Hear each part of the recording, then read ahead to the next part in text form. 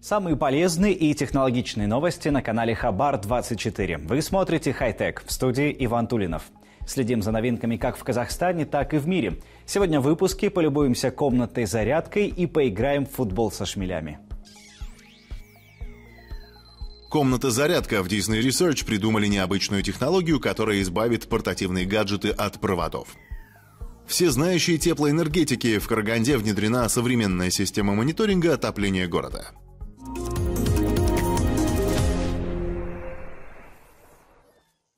Начнем выпуск с пары высокотехнологичных новостей, но расскажем о них коротко в нескольких предложениях. Комната «Зарядка». Исследователи из подразделения компании Disney, Disney Research, опубликовали описание своей новой разработки. Технология беспроводной зарядки гаджетов предполагает, что устройством для пополнения батарей гаджетов заряженными электронами станет вся комната. В помещении устанавливаются алюминиевые панели на полу, потолке и стенах. Прямо посреди комнаты круглый медный электрод, внутри конденсаторы. По стержню течет электроток, тем самым формируя вместе с панелями замкнутый электромагнитный контур. Он и даст возможность заряжать все девайсы, что находятся внутри. Выглядит все довольно спорно и даже опасно, но, возможно, диснеевцы еще усовершенствуют свою технологию. Отпечаток пальца браузера придуман в США, штате Пенсильвания. Эта штука не имеет ничего общего с рисунком на подушечках пальцев, разве что по функционалу. Профессор информатики Инджи Као представил метод под названием e-Spectrum, который позволяет определить личность пользователя с точностью 91%. Используются данные о браузере, разрешении экрана, установленных шрифтах, программном обеспечении и информации о комплектующих компьютера. Причем идентификация возможна даже если пользователь сменил браузер. Такая технология будет интересна рекламодателям, банкам и мошенникам, конечно. Но доктор Као опубликовал данные о своей разработке, так что есть вероятность, что найдутся умельцы, которые придумают, как бороться с такими явлениями. Пчелы-футболисты. В университете имени королевы Мэри Великобритании ученые научили шмелей игре в мяч. Давайте посмотрим, кто составит конкуренцию игрокам Манчестера и Арсенала.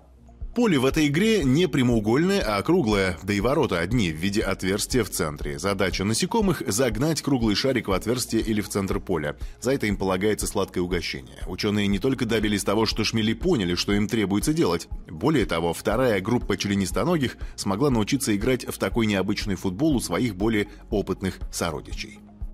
Вторая группа шмелей не только обучилась игре, но даже усовершенствовала алгоритм доставки мячика к цели, что свидетельствует о возможности насекомых к обучению при определенных изменениях в экосистеме. Данное исследование уже опубликовано в авторитетном журнале Science.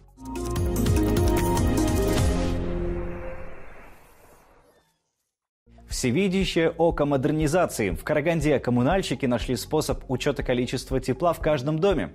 Современные технологии позволяют проводить анализ работы всей тепловой системы и дают возможность узнать эффективность вложенных затрат. Как обогревают шахтерскую столицу, увидели наши региональные корреспонденты. Этот короб с электроникой скрывает в себе массу различных показателей, проанализировав их, становится понятным, насколько обогрет тот или иной дом, тепло ли в нем. Такие специальные теплосчетчики установлены в 80% многоэтажек Караганды. Можем знать, э, какая у нас гидравлика на данном доме. Обязательно. Какая температура. Это регулировка. Это очень для нас это очень важно. И это очень удобно. Мы можем отрегулировать тепло по всему городу. Показатели с каждого прибора стекаются в специальный центр обработки информации. Здесь специалисты видят, сколько гигакалорий ушло на обогрев того или иного дома, а также количество кубометров использованной горячей воды.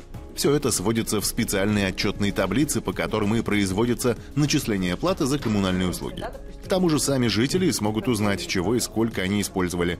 Личный кабинет на сайте услугодателя открывает доступ к параметрам того или иного дома.